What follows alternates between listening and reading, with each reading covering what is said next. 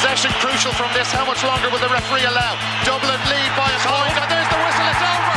It's over. We earned it by winning the last two matches on the road, and that's not going to be taken away from us. But what I love in hurling, I love players that will never give in. He hits it. He hits it. It's over the bar. Oh, holy Moses!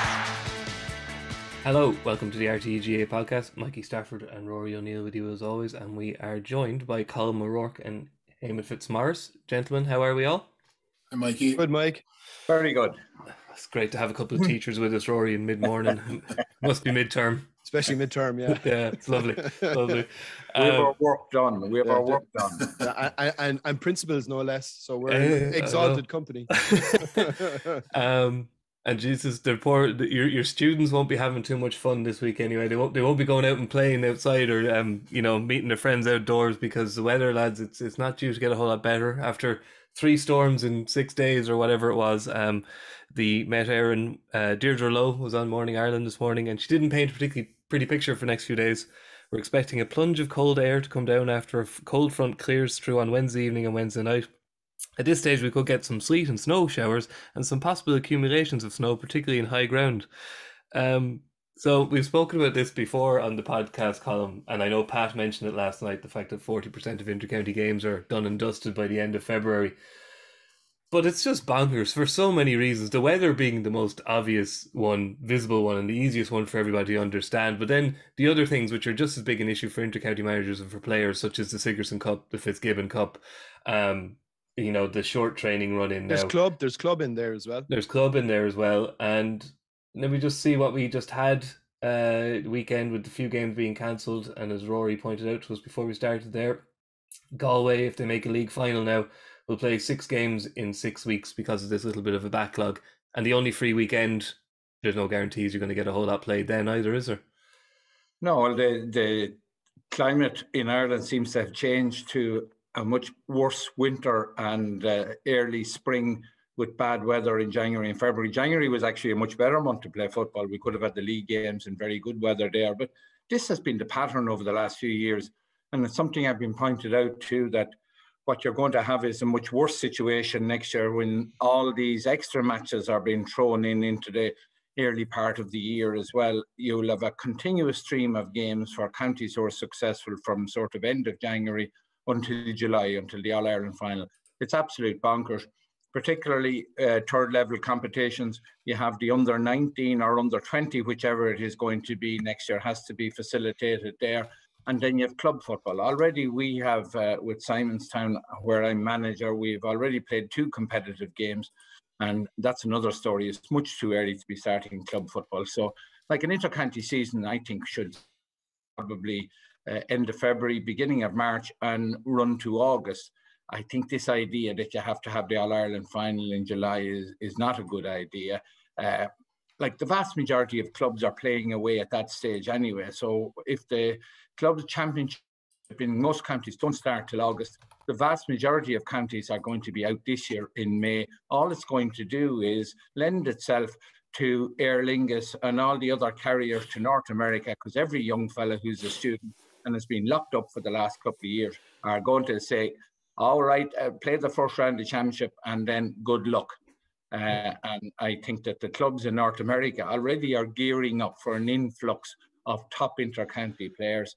And you know, I wouldn't, I wouldn't fault them for that. They haven't been able to get away, but the number of J1s being sought this year and the number of clubs absolutely stuffed with intercounty players across all North America uh, this summer will be a sight to behold. We will be able to see a mini All Ireland in New York and Chicago and Boston.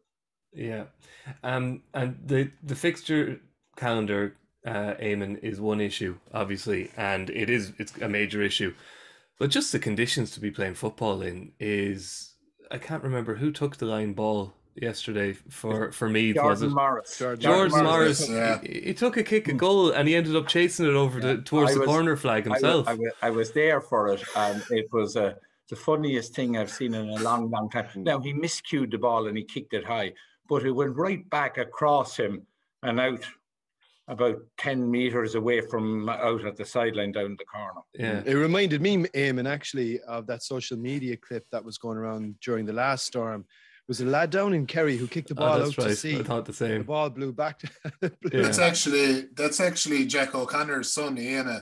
Is it? Yeah, yeah, yeah, yeah, yeah. yeah, yeah, yeah, yeah. Similar thing.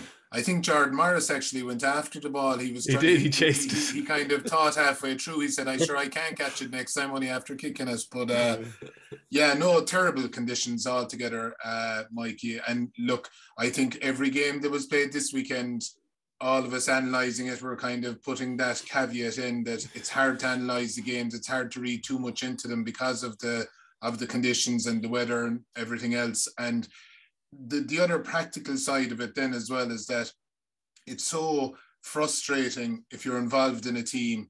Um, if a game, if you're ready to go and the game is called off, particularly when they're making the late calls. I remember a couple of years ago, we went up to Monaghan. We were due to play them in, in, in a scheme. We were ready to go the morning of the game. We are having our pre-match meal. The next thing the word comes through, the, there was snow on the pitch. Uh, again, it was this time of the year. It was mid-February. Snow on the pitch. Game was called off. We had to go back down the road. Um, we actually did a training session in Dublin on the way down to get something out of the weekend. Came up the following weekend. Sigerson final was on the same weekend. I think we had three or four players involved in the Sigerson. We left them off to play Sigerson. Obviously, we weren't going to be depriving them of that. Lost to Monaghan by a point.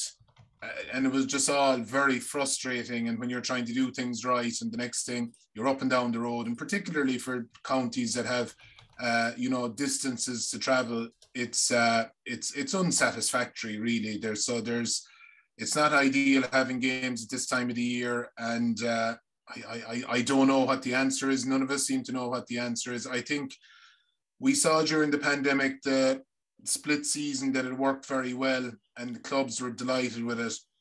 But I think there has to be some kind of coexistence between the intercounty game and the club game. Yeah, um, yeah. that Hundred you know, percent, you, you can you can go ahead and play the games without your your intercounty players, or if intercounty players are coming back from injury, that they play with their club and they get a bit of time under their belts with their club. But I think that you know just completely isolating the two the two the, the club game from the intercounty game, it's not great. And like Colm said, you will see a lot of players going to America this summer, and it is great for them to have an opportunity to do that in one way maybe Rory, you'll be looking to cover games over New York for the Sunday game because there'll be so much talent and display over there uh, during the summer. It would make it would be the first glamorous trip that I would have ever had on having been involved in Sunday game because usually the, the most glamour you get is going to Thurles or Killarney. No, nothing wrong with those places as we know, but I couldn't agree more. I think the this was this notion of the split season and the way they've condensed the intercounty calendar was a decision that was made knee deep in the middle of a pandemic. And in my view, a lot of the decision making for everybody across society, I think there was a rashness and maybe an irrational nature to a lot of it. And it was a lot of the decision making processes in during the pandemic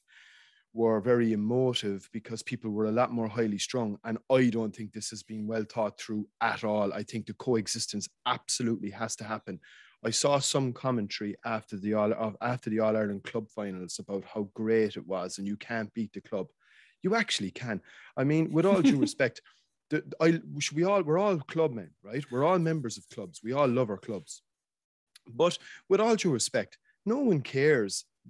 I'd say in, in, in nearly the whole county of Waterford at this stage that Ballygunner were, were the All Ireland club champions. It just doesn't resonate in the same way. And another thing that always kind of bugged me was that this notion that, oh, there's only 2% intercounty and 98% are club players. But hang on a second.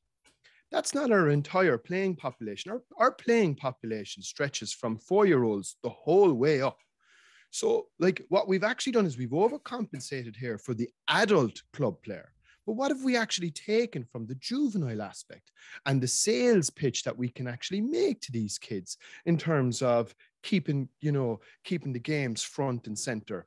Who was it actually the most important thing? What I, what ended up happening was people got upset because the club player was getting a raw deal, but they trained their guns on the wrong target, which was the intercounty game. What should have actually happened was the guns should have been trained on profligate county boards who don't run a proper program of games within those counties. There was no problem in Dub- Dublin. We're going deep into the championship every year. They were playing into the months of October at one point. There was very little grumblings in Dublin because John Costello runs an absolutely tight ship. There's a brilliant program of games from high up to low down, and they continue all league games, bar three, without their county players. You know when you're playing, everyone knows when they're playing. It's week on, week off, hurling and football, no messing. And those none of those games get called off unless the county board says so. And you can't be shifting things around or like there's no messing in that regard. What we did was we've overcompensated because we all got very emotional. We all got very in touch with our community and our club, which was a good thing to happen during the pandemic. And we've way overcompensated now by pulling out of August, pulling out of September first, and now pulling out of August to play our prime product in the shit and the muck makes absolutely no sense whatsoever. I think it was a daft decision. Yeah, well, it, it, uh, just to bear out that, and I'm sure Eamonn would agree, the All Ireland in September was a great focus in schools. Brilliant. And it gave an opportunity to promote the game. I remember we we every year would do a, a, a fundraiser based on the All Ireland predict the score, yeah. and it used to uh, arouse huge interest. And it was also a lovely money spinner for the sports in the school. And that's all gone. And uh, the fact that you were doing something like that made more and more aware of the existence of All Ireland outside the scope of those who are actually involved in the Gaelic games. It brought it home to a much wider constituency. And it was a, an opportunity to promote the game. That's all gone. So you know when Meath are in the All Ireland final this this year, it, it, it will mean that in September we won't have the opportunity. But I suppose if we're celebrating, we won't worry about it. Yeah. Um.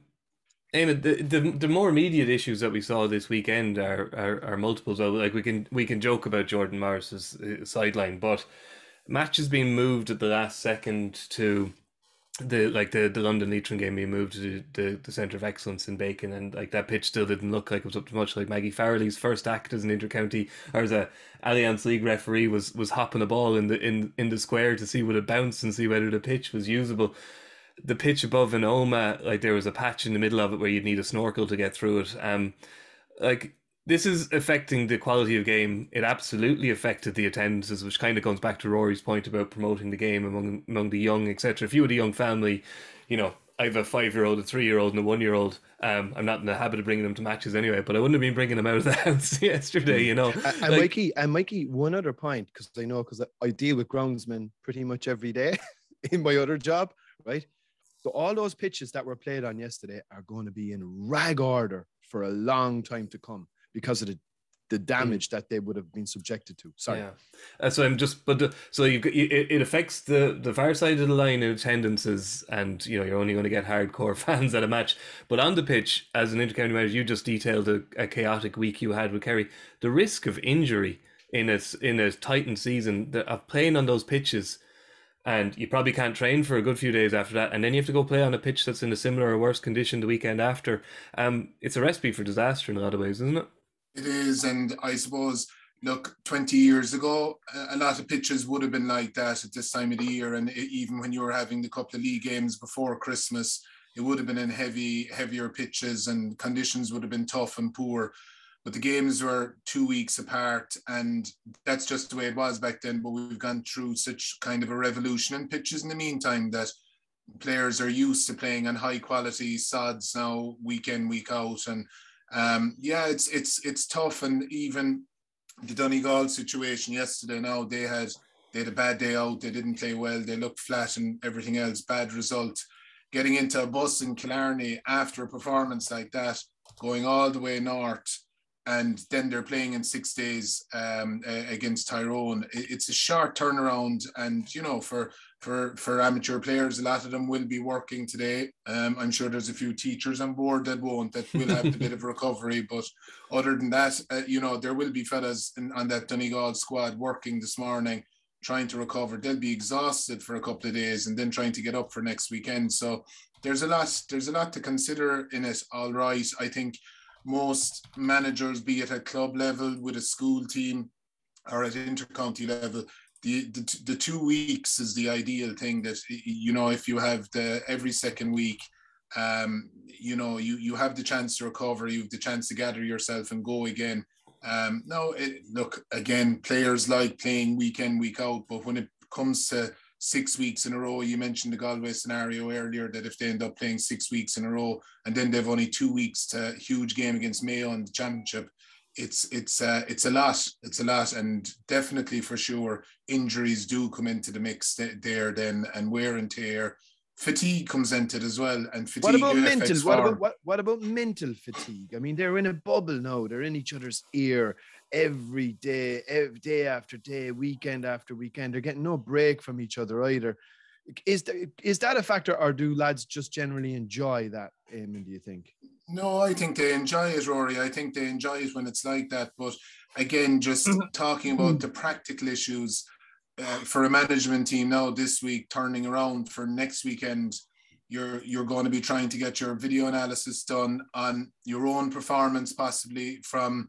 Uh, let's say in the Kerry situation, they're going to analyse the Donegal game for their first session in the week, probably Tuesday night. Uh, have a chat about that. So you're trying to factor that into your session the players trying to give them feedback, but at the same time not overload them. Then you're looking at your next opponents. You're looking at Monaghan, who have played three games already. So you're, trying to analyze their games, look at patterns, give that to the players before next weekend. So there's a lot there's a lot to do in a, in a week and there's a lot a, a, lot of things to take into it now all teams are look they're used to it at this stage and it's it's kind of um it's it's it's it's par for the course but it is heavy metal and it is you know it's fairly mm. intense mm. when you're inside yeah. in that bubble of games week in week out where mm. recovery switch from one um, t- uh, performance to the next getting ready for another opponent um, there's there's a lot going on and Eamonn, uh, I don't know when you were playing, of course, it was a slightly different era to me, but the one thing that I enjoyed most when we were locked up together for quite a while was to get away and maybe play a league match with the club in the middle of it and uh, you know a game with no real pressure on and you could just go out and go back to sort of being an enjoyable footballer again. I always found that was the greatest safety valve of all. Now some of the clients that i had to play with you'd like to get away from them anyway fairly quick. Fairly hardcore type of stuff. But that was that was uh, another reason why the points you were making yourself and rory were making about some interspersing of club season with the county season often was the most enjoyable of all, maybe in April or May. Go off and just play a nice, relaxed game with the club and get the weekend off from the county scene altogether.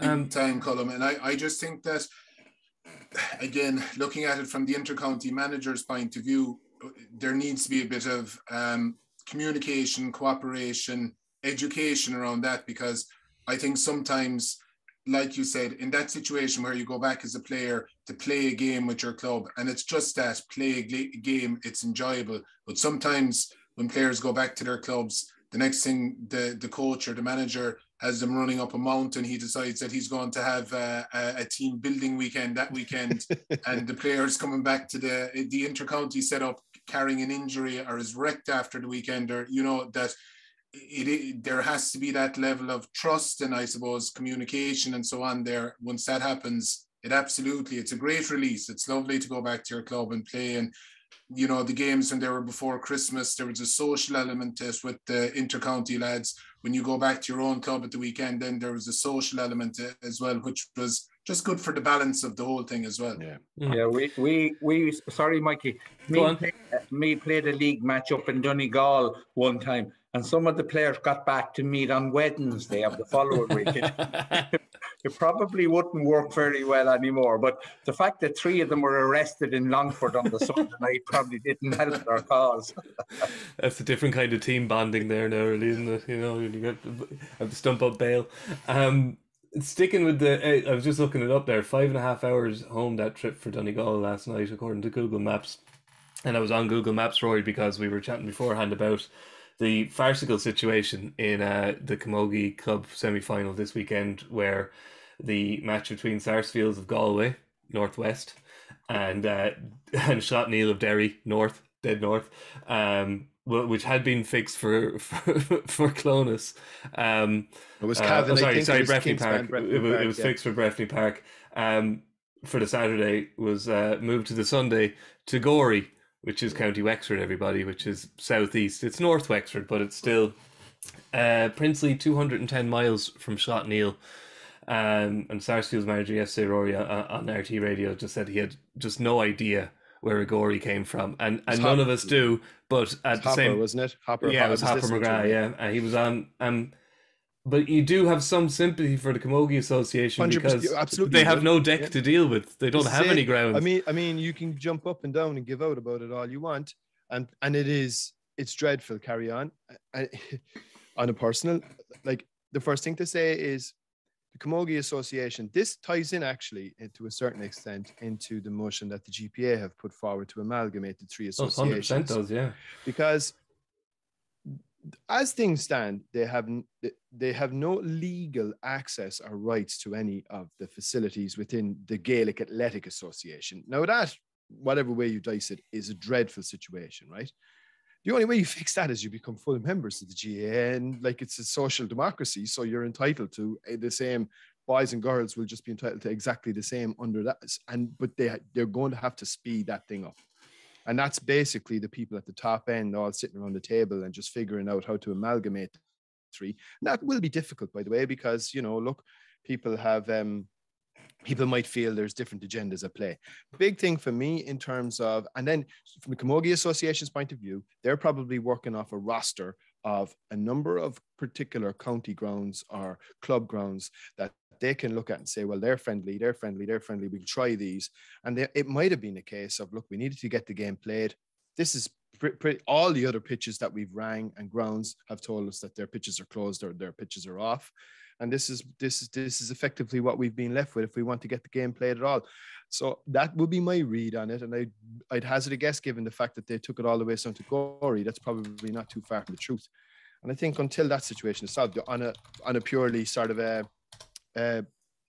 a personal note, what I will do is, given the fact that we have a pretty good pitch ourselves here, where in our club is um, now subject to me getting a sanction or a ratification from our executive, but I am going to contact the county board and just say, look, in future, because where we are in Dublin is a really handy place to get to, and the pitch will be up to county standard, and um, we'll put it on their roster and we'll try and basically help if we can if so situations like this could be avoided in the future Yeah. that now is subject to my committee basically allowing me to do this Oh well, now that- that's a grand gesture made. There we Yeah, go. yeah. That's Una we- voce, una voce. There. yeah. But it just just- shows also the need. I Mhm. think like the way the weather has gone in this country, it's getting wetter in the spring. We need a, a range of all weather pitches all over the country where these type of games could be played, and particularly underage games. I, I think I, I don't like playing on the artificial pitches. Uh, I don't know what Eamonn your feelings on it. I just dreaded playing them. We seem to have a higher rate of injuries from them, but I think if you have a lot of these pitches dotted around the country, it will alleviate a lot of problems. the one the one uh, and just a final point on it mikey and the one the one caveat that should be added i just wonder sometimes in terms of because we had a couple of phone calls there now about hosting uh, dublin minors etc over the last few weeks and um uh, and look, we had the pitches being available. We were using them ourselves, so we couldn't. But like uh, county boards and uh, Camogie Association, LGFA, they need to get used to uh, like they, they just need to get Abbottstown into their head a lot more. I think Abbottstown is there's so many pitches out there. The pitches are all sand-based pitches. They're pretty much always available. There's never going to be an issue in terms of them being called off. They're 150 quid for an hour. So I mean, it's a really handy place to get to geographically. I that that would be the one question that I would have asked Camogie Association is did you ring Abbottstown on Saturday and just see was there a pitch available there? Because I'd be fairly certain that they would have got something. And Hmm. I just wonder, do sometimes Not that do, easy, Rory, to get Abbottstown. I Really? know that from get trying to get schools matches on there. It's not Mm. that easy because Right. they only allow a certain number of games per week, and they sort of say, right, that's it. We have had our quota for this week to protect the pitches. Now they have Okay. a very good all-weather surface, which of Mm. course could be used 24 hours a day. yeah, Mm.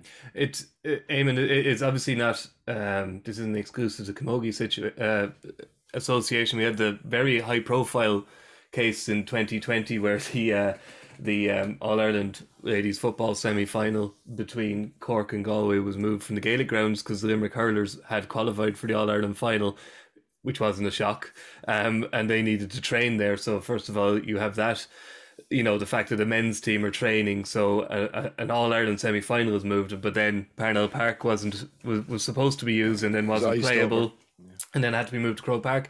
And it ended up the game wasn't on TV because TG Ceathair couldn't get their cameras from Donnycarney to Croke Park. So, like the LGFA and the Camogie Association, they get you know they get abused to you know and they get kind of belittled after these situations. But again, just to reiterate, they don't have their own pitches and like the LGFA. Mm-hmm. some there are a few LGFA owned grounds around the country, but they're few and far between, and they're not suitable venues for an All Ireland semi final.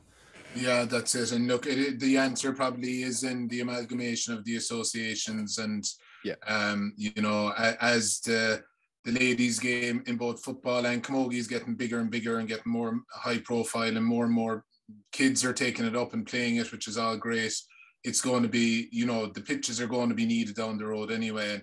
As Colm mentioned, those pitches, the artificial pitches. Kieran Donaghy will be delighted to hear us uh, advocating pitches, uh, those pitches that he's stuck in himself. But um, I think they've progressed, Colm. I think the technology in them has progressed. I agree with you. I remember training even under myself, and they were they were hard on the body, and they were um, there wasn't much of a give in them, and fellas would go over in their ankles often enough. But mm. um, I think the technology in them now, they are that pitch that, that Limerick and Louth played in yesterday in UL. That's very um, spongy, and the the grass is the synthetic grass is like real grass, really. So I think the the technologies in them have advanced. So um, as as that has happened, I, we could definitely do with more and more of them around the country. But they are expensive. They're expensive to put in, particularly full size football or hurling mm. pitch, and over a million. Yeah, and oftentimes they're floodlit then as well. Um, like in Kerry and Tralee, we've we the county board have a pitch in in Carsally, and at this time of the year it gets very wet and heavy. A lot of teams end up using it to train in it. And I always felt it would have been a brilliant place to, to have one of those um, all-weather pitches, but it never happened. And obviously there was a training facility in Currans then, and that swallowed up any capital money that you would have had for it. So um, yeah, I think we we need more of them, particularly with the way the weather is at this time of the year. So we might as well get on to talking about some of the football that happened at the weekend now. After all that, after putting the world to rights or pointing out all the wrongs, maybe more correctly. um, we'll, we'll, we'll, start with Croke Park. I know it was dealt with in detail on Rory Shaw on League Sunday last night, but it's very interesting, and you were both there, you, you know, analysing the game. Um, Colm, uh, Kieran Whelan said something last night that got me thinking. He kind of he said Dublin have become a little bit predictable, particularly in attack.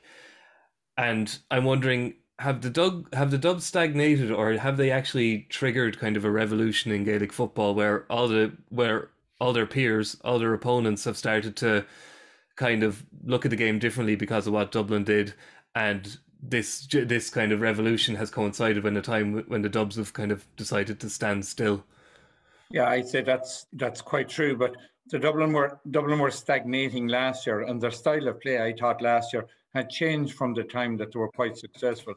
Like at one time over 2016, 17, 18, they were the most brilliant and accurate kickers of the ball. And they made a lot of good scores from outfield by kicking the ball. Last year, they went to a sort of Donegal style round in circles pattern. So that has continued this year as well, even though there was an attempt on Saturday night, I thought early on they kicked in some very good ball, but other teams have changed. Like I thought Mayo had definitely changed their style. This idea that they could be successful by running the ball from deep, I think they maybe have uh, realized at this stage that that is not going to be successful against the top teams. Like it was that sort of pro- approach against Tyrone last year. They lost a lot of ball in contact by carrying from deep, and it was very noticeable. I thought the other night. Now maybe it was based on the fact that they had looked at the Dublin full back line and a perceived weakness there and decided to kick more. But it does appear as if Mayo have changed their style. Kerry kicked the ball quite a lot. I knew they're very accurate kickers of the ball.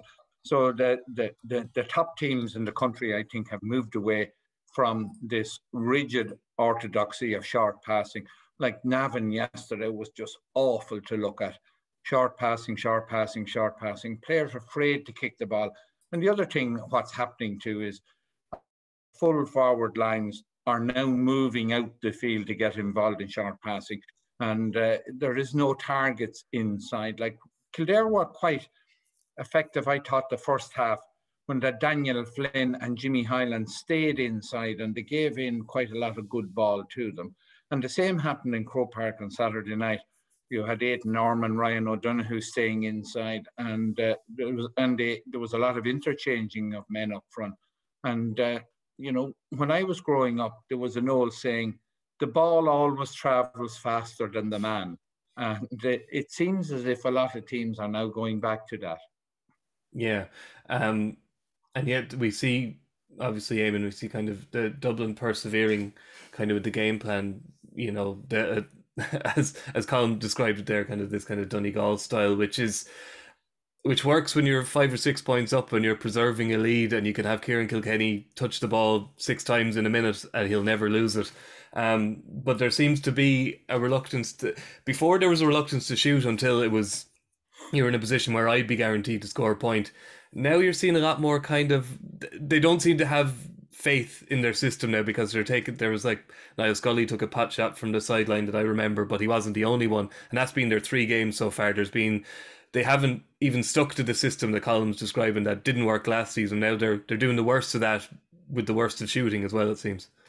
Yeah, you, you've the nail in the head there, Mike. I think there's two things. I think first of all, Dublin aren't winning all their own kickouts anymore. And that was a huge part of their armory because they had so much possession. They wore teams out, um, you know, that you were chasing them so much that come the end of the games, you were uh, actually burned out from chasing them. And they'd, you know, go up the gears and they'd tag on the points. And that's the way they had been for the last couple of years, the last three or four years, where they were getting a lot of scores in those kind of patient possession, getting the right kickers on the ball, opening up the shot, and getting it after tiring out the opposition. Second part of it is they were brilliant in the opposition kick out. They're not as strong in the opposition kick out anymore. So they have less possession. And because of that, their game isn't as effective. And the other word you used there was faith. And I think the the newer players, the more experienced players, haven't faith in them yet. Um, because the last day I was looking at the game, I had a great view of the game and it was my second time seeing the Dubs from that perspective. They have players in the in in their full forward line. They have the bodies in there, but they're static. And I think they're static because they know they're not going to get the ball. So it's kind of the chicken and the egg. They they're not moving. The fellas outside aren't kicking it. And even when they were moving, they weren't getting it. Ross McGarry was very lively in the first half.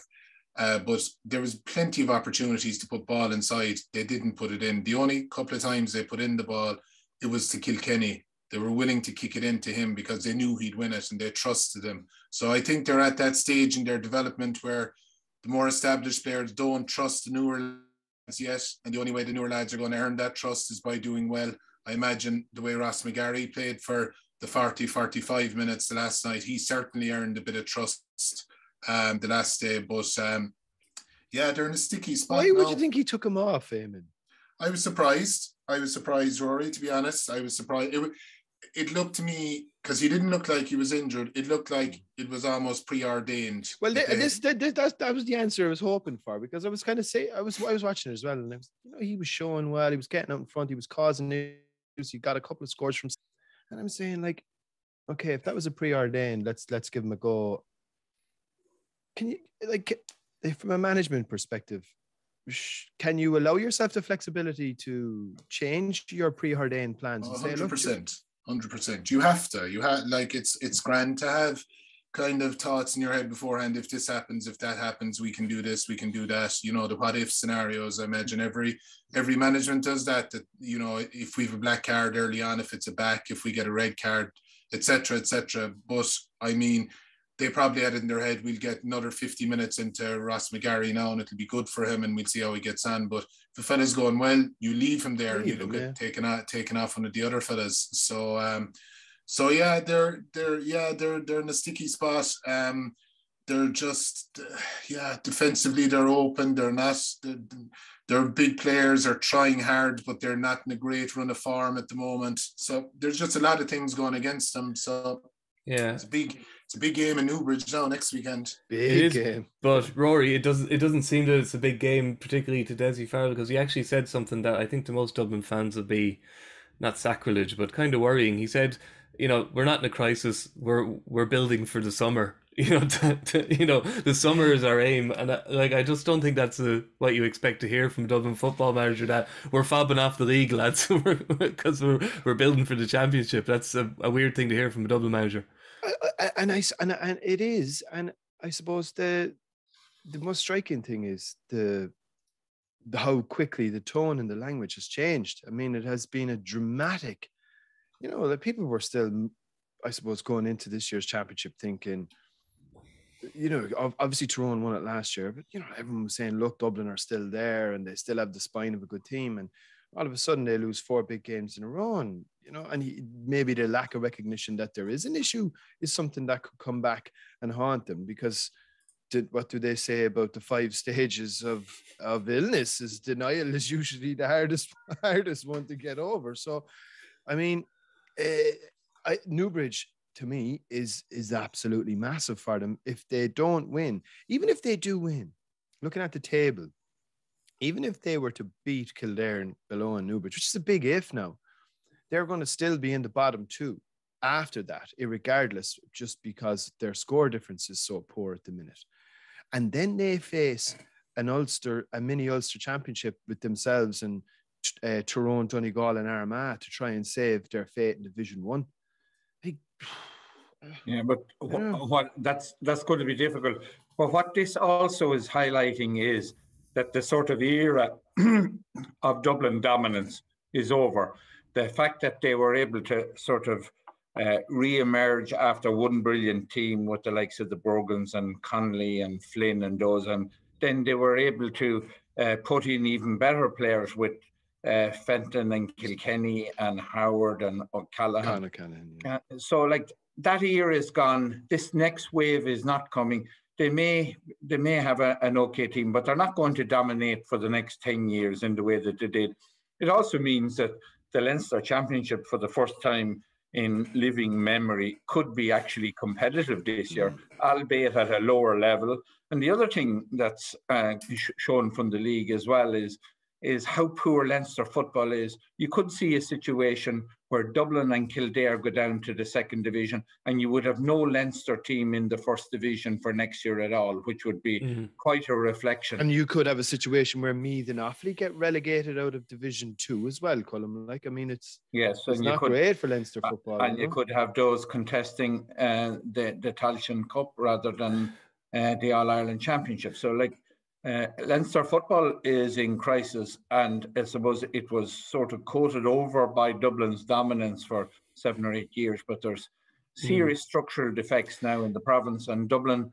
Uh, the Dublin year is over, so my idea of, of splitting them into three or four maybe won't gain as much traction. But It, it would be a bit cruel at this stage, Colm. yeah, but I think the same principle still applies, Yeah. and, and it Yeah. should be looked on at under The foundations are still there. Yeah. Yeah, that underage, this under 17 competition, and I hope that it comes through that it's looked on more as a development competition than a serious one, where Dublin and Cork and Galway and other places can put in more than one team. correct. Yeah. The, Mm. the, the only thing I'd say in Dessie Farrell's defence, lads, and I, I've been there, and uh, look, he is looking at the big picture, and he is still saying, if I have everyone back playing well, we will still take a lot of beating, and they will, and their better players are older, and so on and so forth.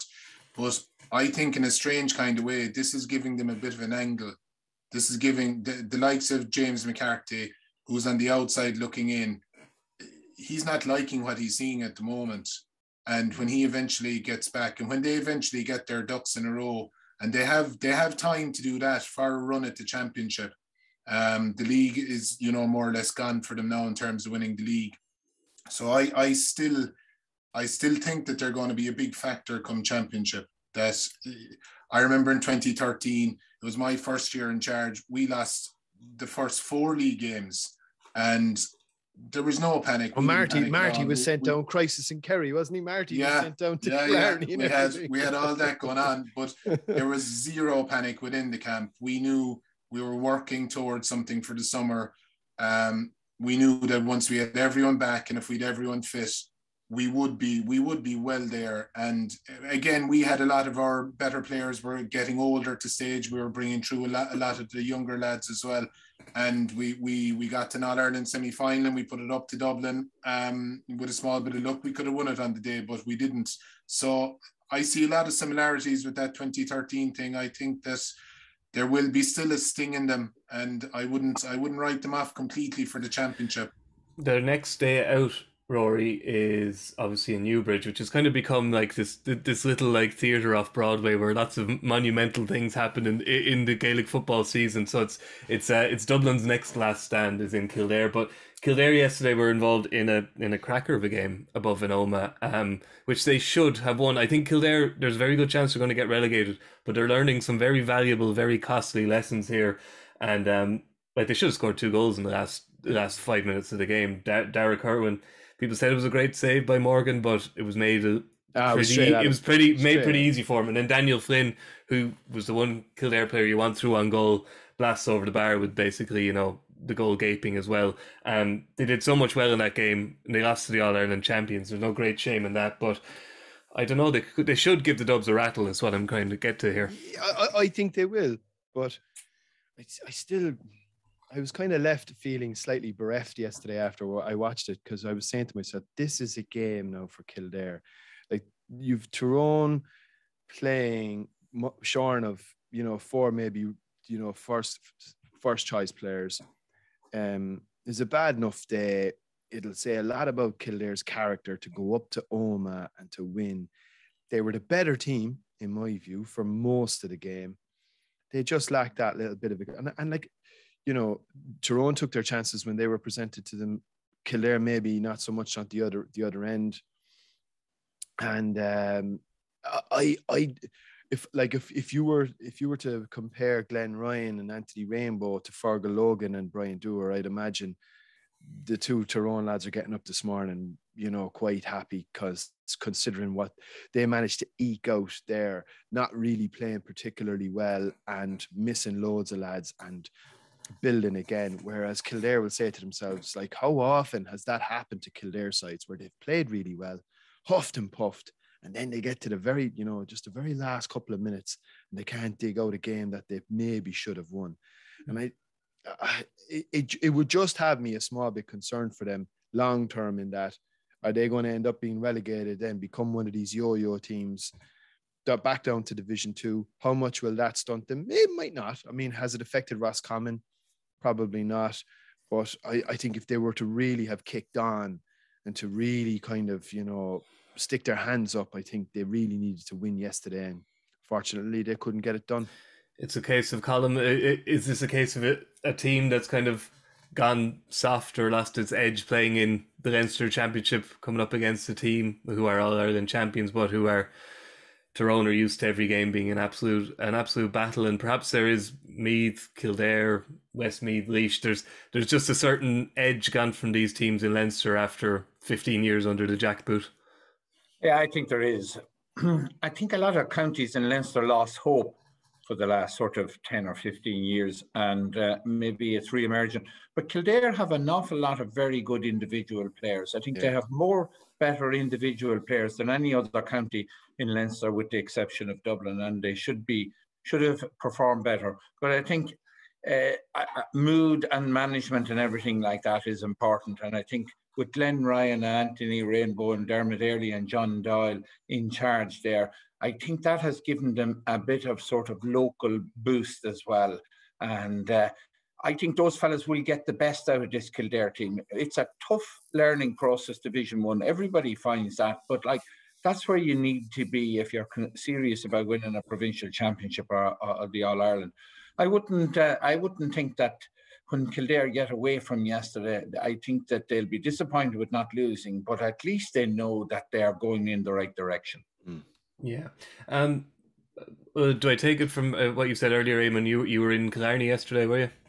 No, I No. saw it on TV last You saw- night. uh, We saw it on. TV. Um, well, I, I don't know how, how informed we can be on this, but it's an interesting point I saw raised. I think it was Owen Cormack in, in the Examiner. He said Kerry are doing so much right at the moment, and there's lots to be happy about, but they still haven't figured out their their kick out kind of tactic, what they're doing. I don't know whether it was down to conditions yesterday or not, but he said an awful lot of kickouts ended up just kind of being hoofed into the sky. And I don't know if if yesterday was the day for hoofing a ball into the sky. Is that something you've noticed? Is it still something Jack's trying to crack? I think it's something they'll be working working on right up into the champion, championship, and it often is something that's finessed toward towards the championship rather than spending too much time in it early in the year. Shane Ryan was in for his first game of the year uh, this weekend, and I think conditions absolutely played a part. It was a day to get, get it out and not to be tricking around too much with it, particularly when you're playing into the wind.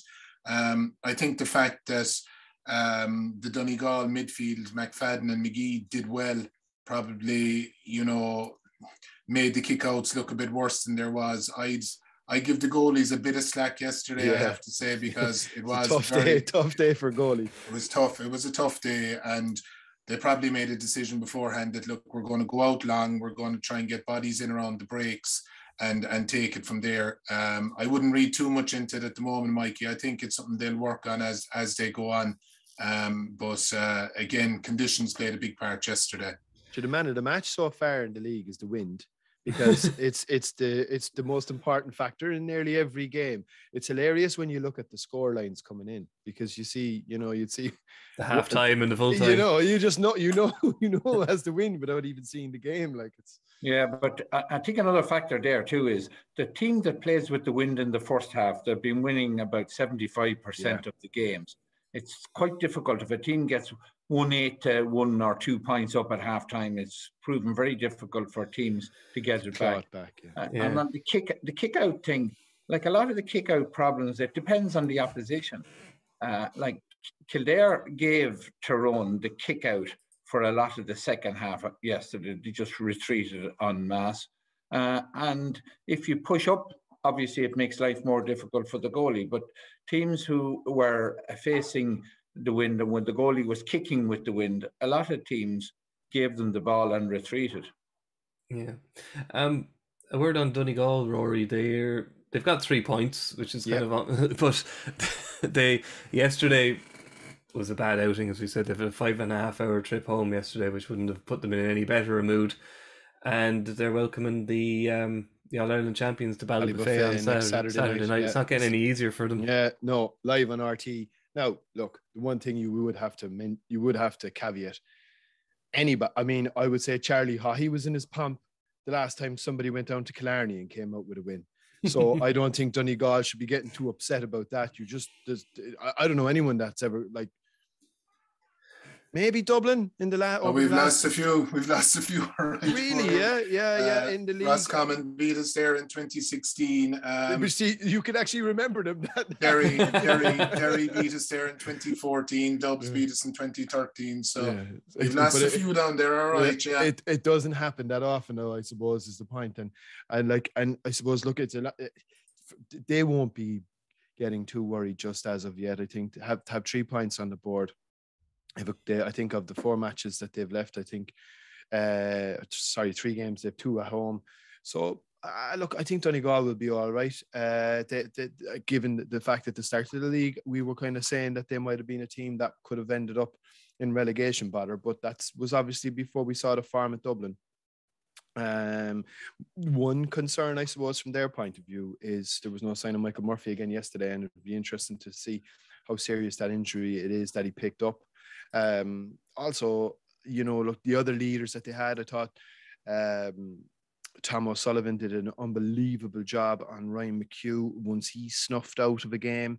You know, it- have they got the kind of creativity that they're going to need to get that ball in?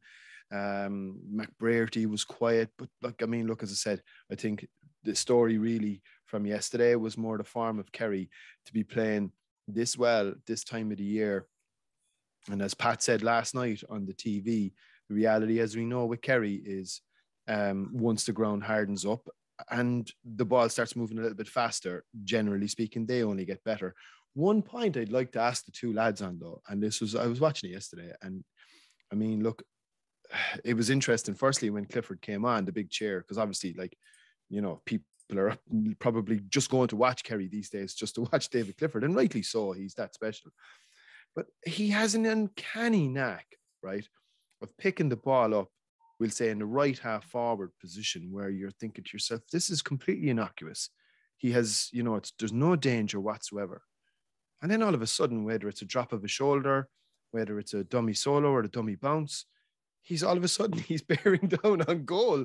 He it's it's it's just incredible how he's able to sort of create that space. And the one thing that I did notice then was the Kerry forwards are very quick to empty out that for him. Like, is that something that they would work on, or is that just is that just something like it's Clifford get out of his way type thing, yeah? Um, yeah, I'd say that. Look, I, I saw at one stage Tony Brosnan um, kind of emptied out space for him, and he'd be very clever, instinctive um, forward as well, and he'd understand that you know that when David is on the ball to give him that bit of space to operate in, and in fairness to David, he's not selfish either. He he no. he'll do the same thing for you if it's the right thing as well. Um, just on Tony Brosnan, he gave a lovely hand pass, a soft hand pass over the top to Seanie Shea for Seanie Shea's last point. I don't know if you saw it. It was a fantastic hand pass, bearing in mind the conditions. Uh, he put Seanie Shea through, and Seanie Shea uh, elected to punch it over the bar. But David Clifford, yeah, has that ability to suck a player in, and then he goes past him because he's he's quick, but he's also so powerful. Mm. He's very he's very strong.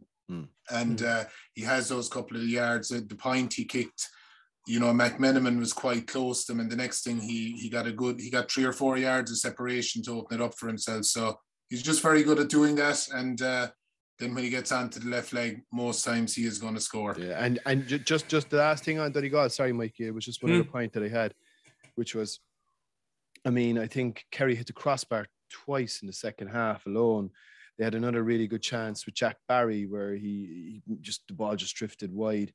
I mean, eh, to a certain extent, you know, on another day, Donegal might have been on the end of what eh, the kind of hiding that Tyrone took down in Killarney um, last year. They didn't, and I think that's a positive because that can be quite a demoralising defeat. Now, look, as we know, Tyrone recovered from it quite well, to be fair. But at the same time, when if you if they could have got a pasting, and they didn't. And I think that's yeah. one positive for them to take. Kerry, Kerry will be hoping that uh, David Clifford isn't one of these students who decides he's going to go off to America for the summer. no fear, Colm. No fear. No. I, would I'd say he surrendered it, his passport. Yeah, when, and confiscated, Mikey. when you see when you see the bad weather too, like the financial suicide of the GAA of having games at this time of the That's year. another thing. Like yeah, like David Clifford is such a, a promotional tool on his own. And if you had him playing in half decent weather in Killarney, surely the crowd would be doubled or tripled. There was only 20, 22 or 23,000 in Croke Park because it bucketed yeah. down. Like, I mean, there would have been, I would say, ordinarily 40,000 at Dublin Mayo yeah. in a league game. You know? Yeah, that's brutal. Um, we'll finish up now in a second. Um, I won't talk about our man Monaghan Drawn because Monaghan draw every game. is remarkable. Just that there's there, there's there's there's yeah. there's a doctorate to be done in Monaghan drawn games in the league. In the league, yeah. and it shows, it shows from that too. Like Division One, four, five, or six points may get you keep you safe because mm. There's going to be a lot of teams grouped in that area, and score difference is going score to make difference yeah. is big. Yeah, would make the difference in keeping you up. It shows you when you grade teams as well how competitive the matches are because we'll come to the summer now and we'll be talking about, you know, 18, 19 point hidings in the provincial championship and you could throw a mm. blanket over most teams in the division. Grading works. It's an obvious Mon- thing Mon- to say. Monaghan, Monaghan, Monaghan left that game behind them though, Mikey. They were the better side for the vast bulk of it. They were down to 13 players at one point because Conor McManus was sent off mm. and I can't remember who got it. And shouldn't have been sent off, I think, too. Yeah, yeah, and you know, Centre-back got a black card for the penalty incident. Oh, well. that's right. And yeah. they lost Niall Kearns very, very early on, who's obviously a hugely influential player to them. I think he went off after about 10 mm minutes with a with a serious injury. Um, and they still did a lot of wides, but Monaghan, like I know they got a draw they should have won that game. Yeah. Final word to you, Colm. I'm just wondering. You, you said you were in Navan yesterday. Was was that a point gained or a point lost for me? Because we kind of we put that down as a must-win game for both teams. So it was a bit of a curate's egg? Uh, was a point lost, no doubt about that. Like Meath had uh, the wind in the second half, and uh, we're only three points behind, and you would at halftime have put the house on Meath overcoming that. And in the end, Caolan Mooney cut in from the right hand side and fisted the ball, looked as if it was going over the bar, and uh, it hit the crossbar and came out. And just before that, Pádraig Harnan made a, an interception to stop a certain goal for Down. So in the end, maybe it was a point game, but like uh, Down are struggling. If you're not able to beat Down at home, things are not good. Yeah, that's that's. It's going to be making for a very interesting mini league to finish off that division two between Cork, Down, Meath, and Offaly. Because mm. I think after like like the Cork will, play Galway this Saturday, the, which you they won't win, lose. but they but yeah, which they won't win. And then their their their three remaining games are Meath, Down, and Offaly. So it's going to make like that that side of it to see who actually gets relegated. It's going to be quite interesting. Yeah. Okay. Well, look, we'll be back on Thursday to preview the football and hurling. We've a, we've a, we've a double weekend, and we've Congress. I don't know if whether we'll be previewing Congress. yeah, we've, we've done enough football football structure chat over the last few weeks. It's done. It's done. Um, thank you to Eamonn, thank you to Colm and Rory, and uh, we'll catch you again on Thursday. Good luck.